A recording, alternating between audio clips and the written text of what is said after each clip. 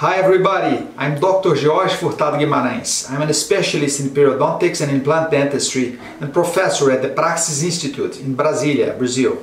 I would like to share with you my experience in study around wound healing when treating full edentulous patients. For a long time, I have explored the benefits of amelogenin in periodontology and have been able to save many teeth considered hopeless.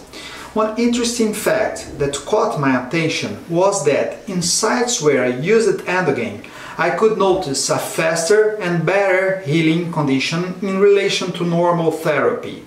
So I decided to study this benefit more broadly and for my PhD thesis in 2009 I chose to do a split mouth study with bilateral edentulous patients who needed implants.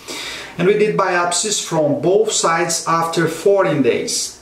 The results were incredible. It was possible to see a considerable amount of new blood vessel formation on the side where Emdogain was applied to the wound in relation to the side that nothing was applied.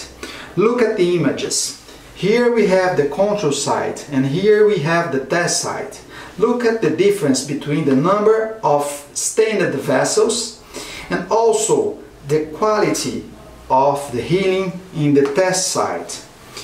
This article was published in 2015 in the International Journal of Periodontics and Restorative Dentistry.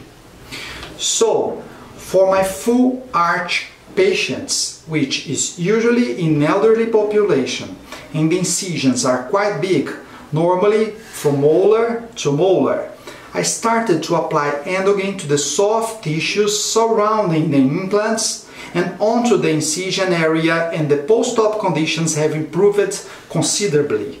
That's my tip for the expert to Straumann Edentulous and to all my colleagues doing full arch cases out there. Thank you and stay healthy.